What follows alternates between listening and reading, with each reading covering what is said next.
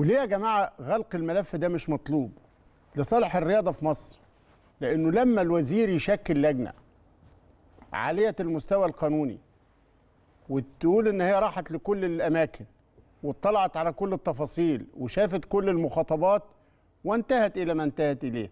سيبنا من فكرة إنه اللجنة تقول إنه آه، مش من مش من اختصاصها. ده كلام يعني زي ما المهندس عادل اشار في البداية بلاش تستعمونا قوي كده.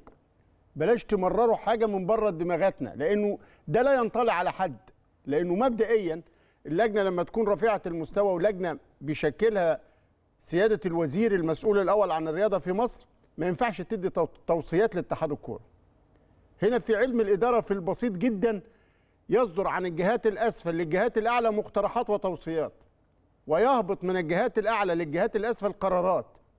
فأنت المنوط بيك اتخاذ قرارات اللجنة انتهت إلى كذا كذا وعليه تقرر إذا كان اللجنة يا أستاذ إبراهيم بتدفع بعدم الاختصاص راحت ليه من الأول؟ من الأول اشتغلت آه. ليه؟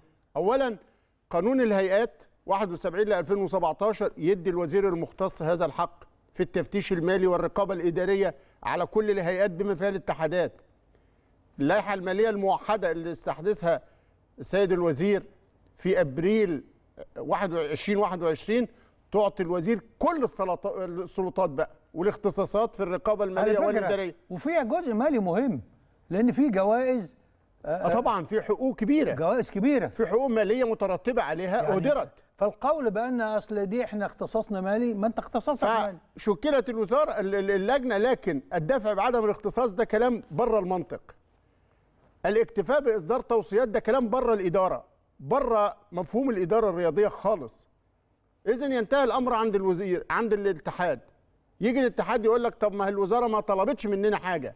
إحنا عايزين ناخد قرارات بس الوزارة ادتنا مجرد توصيات. هل هيضيع حق الأهلي ما بين اعتبار اللجنة صدر عنها في توصيات في أول وقعه غير مسبوقة؟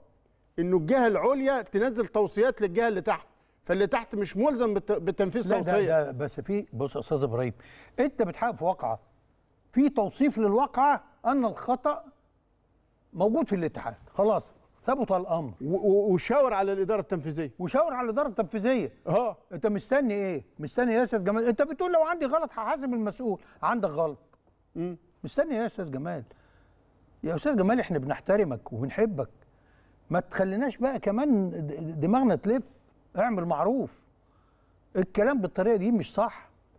يعني يعني والكل بقى إيه زي ما يكون تاهت الإناء.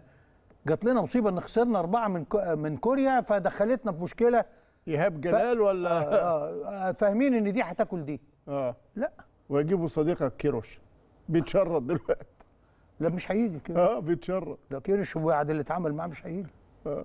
إلا إذا جه بقى ولغى الدنيا كلها. آه. إذا جه هيلغي الاتحاد. واخد بالك؟ هيتعامل مع شخص وغالبا هيبقى الكابتن حازم. والكابتن حازم زي ما انت عارف آه، يعني راجل مهذب وهيظل راجل مهذب لكن في الإدارة أحيانا بتحتاج تكون صارم. تكون حازم.